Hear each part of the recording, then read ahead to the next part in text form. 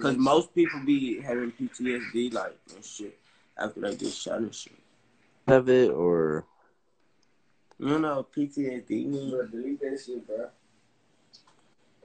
You don't know what PTSD mean? mm, not really, bro. You finna clown me, but not really.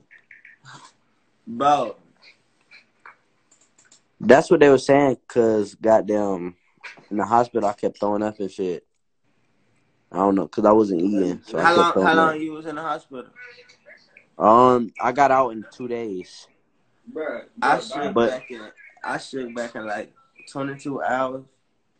But then I had to go back because my stomach was fucked up. Like I couldn't eat shit. Yeah, hey, I had hey, my shit was swollen. Did your shit swell up? It was just like kind of nasty and shit. Nasty. My Yeah, shit nasty. was swole. But look, from my, um, I don't know if you can see it right now, but like in my leg, it's like a curve in my leg, and I can't feel shit down there. And look, I can't extend my arm all the way right here because the way it went through. Like I swear to God, hold it up, hold it up. So you can't bend it all the way? On my mama life, I'm trying as hard as I can. Do this, like do it, do it flat, like type shit.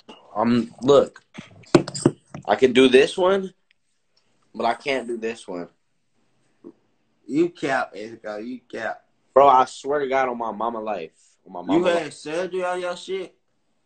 Nah, they said I need to go to um, what's them shits called?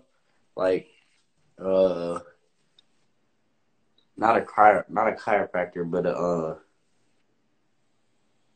what is it called? Like, bro, you know what I'm talking about, bro?